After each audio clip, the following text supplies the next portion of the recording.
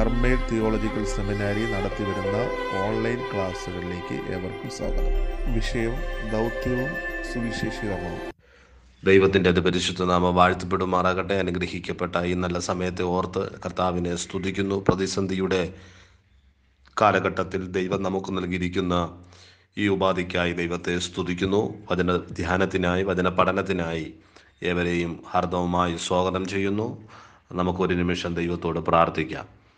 പരിശുദ്ധനായ ദൈവമേ സ്വർഗീയ നല്ല കർത്താവെ അനുഗ്രഹിക്കപ്പെട്ട നല്ല സമയത്തിനായി സ്തുതിക്കുന്നു കർത്താവ്. ലോകം മുഴുവനും നിലവിളിയുടെ നടുവിലായിരിക്കുമ്പോൾ കർത്താവെ വചനം പഠിക്കുവാനും ധ്യാനിക്കുവാനും ഞങ്ങൾക്ക് ദൈവമൊരുക്കിയ എല്ലാ നല്ല സാഹചര്യത്തിനുമായി നന്ദിയോടെ ദൈവത്തെ സ്തുത്യവും അനുഗ്രഹത്തിന് കാരണമായി തീരുവാൻ ദൈവം സഹായിക്കണം.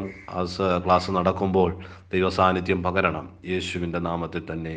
ആമേൻ. കഴിഞ്ഞ ദിവസങ്ങളിലൊക്കെ സുവിശേഷീകരണ ദൗത്യത്തെക്കുറിച്ചുള്ള വിശദമായ ചില പഠനങ്ങൾ ചെറിയ രീതിയിൽ നമുക്ക് കേൾക്കുവാനിടയായി. സുവിശേഷീകരണം അതിന്റെ അർത്ഥം എന്താണെന്നും സുവിശേഷീകരണത്തിനുള്ള നമുക്ക് ലഭിച്ചിരിക്കുന്ന അധികാരത്തെ പറ്റിയും പിന്നെ സുവിശേഷീകരണത്തിന്റെ അടിസ്ഥാന തത്വങ്ങൾ എന്തൊക്കെയാണെന്നുള്ളതും സുവിശേഷീകരണത്തിലുള്ള ദൈവപ്രവൃത്തി കഴിഞ്ഞ ക്ലാസ്സുകളിലൊക്കെ നമ്മൾ ശ്രദ്ധിക്കുവാനിടയായി. ഏവരും ആ ക്ലാസ്സുകൾ ശ്രദ്ധയോടെ വീണ്ടും അത് കേട്ട് ഒന്ന് ചിന്തയിലേക്ക് കൊണ്ടുവരുവാൻ ഓർപ്പിക്കുന്നു. ദൈവം ഏവരെയും അനുഗ്രഹിക്കുമാറാകട്ടെ.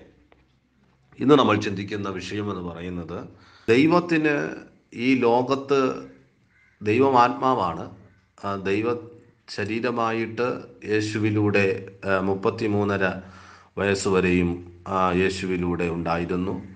എന്നാൽ ഇന്ന് മനുഷ്യനിലൂടെയാണ് ദൈവത്തിന്റെ പ്രവർത്തനങ്ങൾ നടത്തുന്നത്. അപ്പോൾ ഭൂമിയിൽ മനുഷ്യനല്ലാതെ മറ്റാരും തന്നെ ദൈവത്തിന് പ്രവർത്തിപ്പാൻ ഒന്നും ഇല്ല. നമ്മിലൂടെയാണ് അവൻ അതെല്ലാം ദൈവം എന്തൊക്കെ ചെയ്യുവാൻ ആഗ്രഹിക്കുന്നുവോ അതെല്ലാം നമ്മിലൂടെയാണ് അവൻ ചെയ്യുന്നത്. അതിനുവേണ്ടി നമ്മെ പൂർണമായി ഏൽപ്പിച്ച് ഏൽപ്പിക്കുക. ദൈവത്തോടു കൂടെ നമുക്ക് ഈ സുവിശേഷീകരണത്തിൽ പങ്കു പങ്കുചേരാം.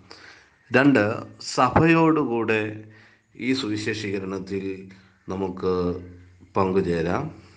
മനുഷ്യൻ പങ്കുചേരുന്ന വിധങ്ങളാണ്. മൂന്നാമത് സഭയ്ക്ക് പുറത്തുള്ളവരോടുകൂടെ നമുക്ക് സുവിശേഷീകരണത്തിൽ പങ്കുചേരാം. മൂന്നാമത്തെ ഭാഗമായിട്ട് നമ്മൾ ചിന്തിച്ചത് സഭയ്ക്ക് പുറത്തുള്ളവരോടുകൂടെ ചേർന്നുകൊണ്ടുള്ള സുവിശേഷീകരണ ദൗത്യം ദൈവത്തെ അറിയാത്തവരുമായുള്ള ഒരു ഇടപെടലാണ് സുവിശേഷീകരണത്തിലെ ഒരു ഭാഗം മറ്റൊരു ഭാഗം. ക്ഷാമത്തിലിരിക്കുന്ന അനേക പേർക്ക് പകുത്തു കൊടുക്കുവാൻ ജീവന്റെ അപ്പം നമുക്ക് ദൈവം നൽകിയിരിക്കുകയാണ്. പാപത്തിന്റെ ജയിലറയ്ക്കുള്ളിൽ അകപ്പെടുന്നവരോട് ക്ഷമിക്കുവാനുള്ള അറിയിപ്പ് ദൈവം നമ്മുടെ പക്കൽ ഭരമേൽപ്പിച്ചിട്ടുണ്ട് വഴിയറിയാതെ അലയുന്നവരെ ശരിയായ മാർഗം അറിഞ്ഞിരിക്കുവാനുള്ള റൂട്ട് മാപ്പ്. ശരിയായ ദിശ തിരിച്ചു കൊടുക്കുന്നതാണ് ദൈവത്തിന്റെ വചനം.